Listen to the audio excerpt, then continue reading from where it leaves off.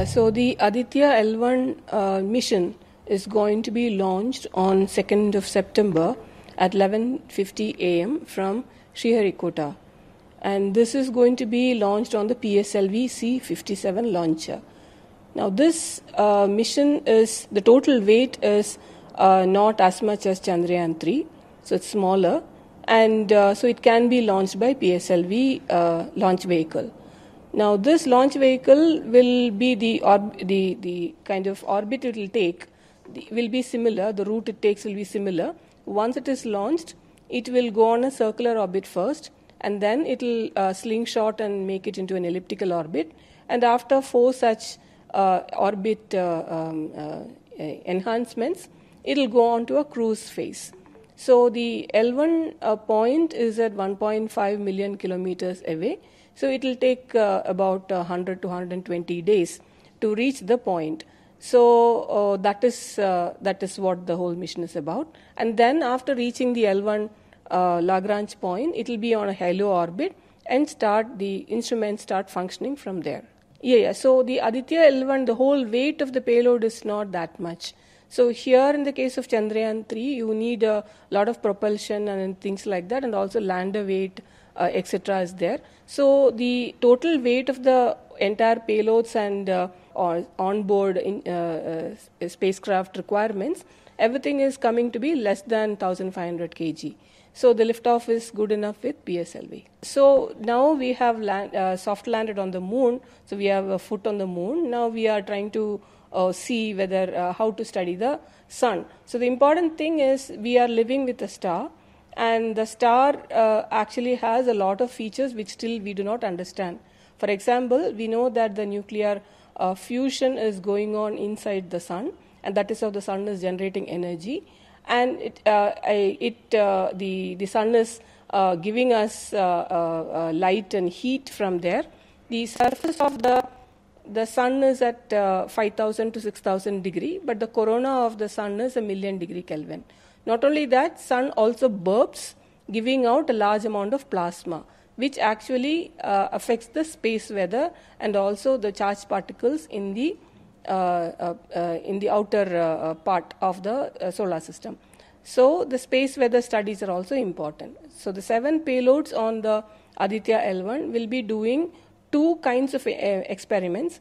One is the remote sensing, like look at the sun and collect the radiation and study, and a few of them will be actually measuring the particles present at that particular uh, point and also the magnetic field.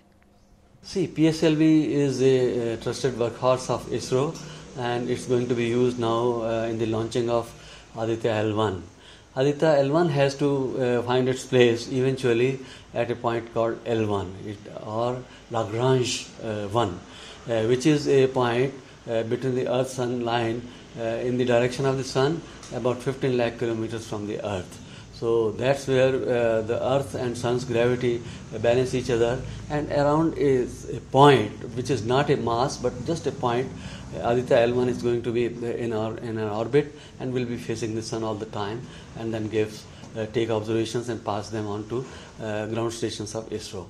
But uh, apart from this, Uh, uh, PSLV rocket has been used uh, uh for most of the launches by ISRO.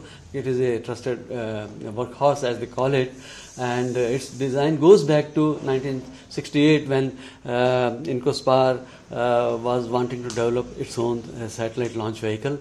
So there were six designs ready, and Dr. Vikram Sarabhai uh, liked the design number three, which was called SLV 3. So uh, Dr. Abdul Kalam uh, was roped in to develop it further, and uh, that's how uh, SLV-3 uh, came into being. And then uh, it, it, was used for launching Rohini satellites in space, but SLV-3 had a limitation of payload mass of around 40 to 50 kg. Further development eventually uh, first it became augmented uh, satellite launch vehicle. After that it became polar satellite launch vehicle. And its uh, uh carrying capacity rather uh, payload bearing capacity was increased now PSLV can take about 3200 kg in low earth orbit and about 1400 kg in uh, in geostationary orbits What are the features of uh, PSLV, sir? PSLV has got boosters and solid boosters, and there is a, uh, a solid engine and, uh, and and liquid engine.